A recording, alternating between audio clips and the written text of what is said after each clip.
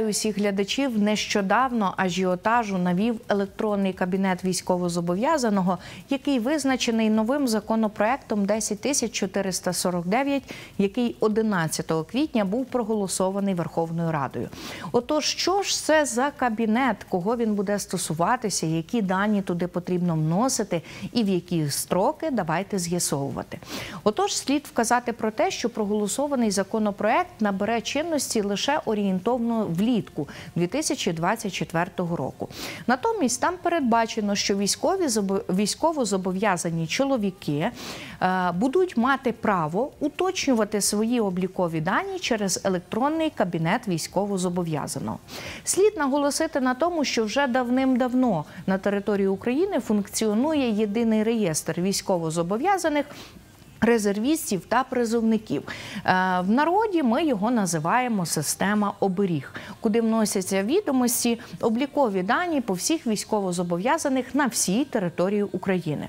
Про що важливо звернути увагу? Крім ведення цього реєстру, у нас додасться додаткова функція це електронний кабінет військовозобов'язаного. Для того, аби там авторизуватися, достатньо буде ввести свої прізвища, ім'я по батькові, номер телефону та ідентифікаційний код. Зокрема, через цей електронний кабінет ви зможете оновлювати свої дані. Якщо у вас зміниться місце проживання, сімейний стан, наприклад, або з'явиться додаткова підстава для відстрочки. Ну разом з тим прогнозується, що цим законопроектом також будуть визначатися направлення до електронного кабінету електронних повісток. Але станом на сьогодні форми цієї повістки не розроблено. Порядок її доставляння також не розроблено, тому чи зафункціонує взагалі направлення електронних повісток ще поки що невідомо. Це ми розглянемо вже після того, як закон набере чинності. Отож, електронний кабінет військовозобов'язаного зобов'язані вести не всі.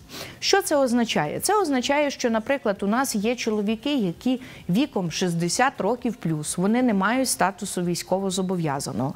У нас є ті чоловіки, які за рішенням ем, там СЕКу, наприклад, вони мають певну групу інвалідності, і внаслідок цього вони ще й визнані військово-лікарською комісією непридатними до проходження військової служби. А тому виключені з військового обліку. Тому вони також втрачають статус е, військовозобов'язаного. Також у нас є така категорія е, осіб, які називаються призовниками. Зараз цей вік знижено з 27 до 25 років. Е, призовники вважаються такими, поки у них на руках є приписне свідоцтво. Якщо це приписне свідоцтво замінюють на тимчасове посвідчення військовозобов'язаного, то він автоматично втрачає статус призовника і набуває автоматично статусу військовозобов'язаного. Тому тому, якщо у вас є приписне свідоцтво, електронний кабінет ви можете собі і не відкривати, і дані ніякі не вносити.